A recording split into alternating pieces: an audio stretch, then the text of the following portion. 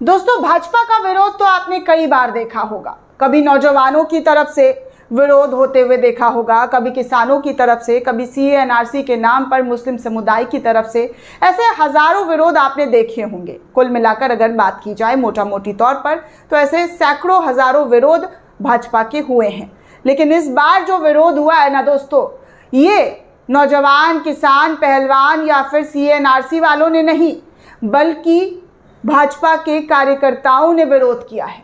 भाजपा के अपने पार्टी के लोगों ने विरोध किया है और वो भी ऐसा कि सड़क पर लोग देखते हुए नज़र आ रहे हैं। ये वीडियो आप देख रहे हैं। ये भाजपा के कार्यकर्ताओं का रैली है दोस्तों। भाजपा के कार्यकर्ताओं का विरोध प्रदर्शन है। जो कि स्कॉर्पियो में पोस्टर, बैनर के साथ, गाड़ी के काफिले के साथ, पूरे दलबल के साथ मध्य प्रदेश की सड़कों पर घूमते हुए नज़र आ रहे हैं और विरोध करते हुए नज़र आ रहे हैं क्योंकि भारतीय जनता पार्टी में अंदरूनी कलह जो है, वो मध्य प्रदेश के अंदर साफ़ तौर पर दिखाई दी जा रही है।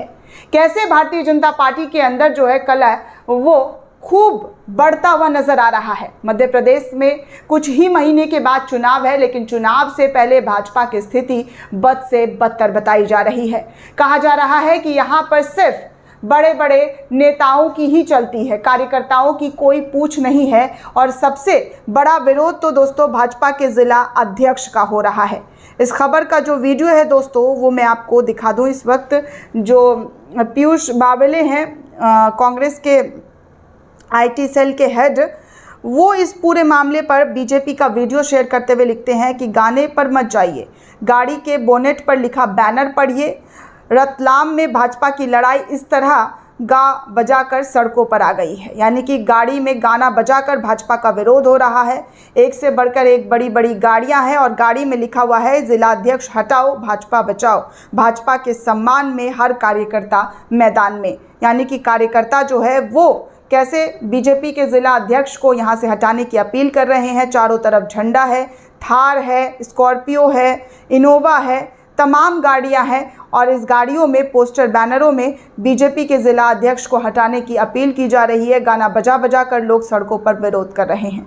अब आप सोचिए दोस्तों कि जिस पार्टी में इस्तीफ़ा नहीं लिया जाता है जी हाँ यही कहा जाता था। राजनाथ सिंह की तरफ़ से कहा गया बीजेपी के तमाम नेताओं की तरफ़ से कहा गया कि हमारी पार्टी में इस्तीफ़ा नहीं दिया जाता। हमारी पार्टी में संस्कार हैं।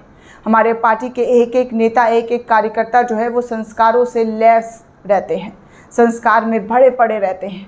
और फिर देखिए, ये संस्कार मध्य प्रदेश के अंदर कैसा खोखला दिखाई दे रहा है कि भाजपा के खिलाफ भाजपा के ही लोग सड़कों पर उतर आए हैं। हालाँकि इससे पहले भी मध्य प्रदेश के अंदर तस्वीरें आपने बदलती हुई देखी होगी जहाँ पर भाजपा के बड़े बड़े नेताओं ने कांग्रेस का दामन था, थामते हुए दिखाई दिए। सिंधिया के जो नज़दीकी थे सिंधिया के जो समर्थक थे 400 से ज़्यादा गाड़ियों के साथ कांग्रेस की सदस्यता लेने पहुँच गए। कांग्रेस ज्वाइन कर लिया जो कभी सिंधिया के साथ हुआ करते थे। सिंधिया जब से बीजेपी में आए हैं, तब से बार बार यही कहा जाता है कि बीजेपी में किसी को सम्मान नहीं दिया जा रहा है। बीजेपी में अपमान हो रहा है और इस अपमान को ना सहने की कसम खाते हुए चुनाव से ठीक पहले तमाम वो लोग अपना घर वापसी करते हुए दिखाई दिया जा रहा है। हालाँकि ये भी कहा जा रहा है कि जो ज्योतिरादित्य सिंधिया है, वो भी शायद कांग्रेस में शामिल हो सकते हैं। लेकिन ये खबरें हैं दोस्तों, अफवाह भी हो सकती है, सत्य भी हो सकती है, पता नहीं।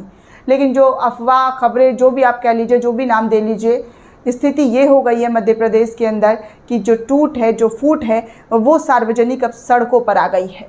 गाना बजा बजा कर देश हट, देश में बीजेपी मतलब बीजेपी के अध्यक्ष को हटाओ और भाजपा को बचाओ जैसे स्लोगन के साथ लोग सड़कों पर उतर आ रहे हैं। दोस्तों, इस पूरे रिपोर्ट को लेकर आप क्या सोचते हैं? आपकी क्या प्रतिक्रिया? हमें कमेंट करके ज़रूर बताइएगा। साथ ही साथ चैनल को सब्सक्राइब करना बिल्कुल भी ना भूलें।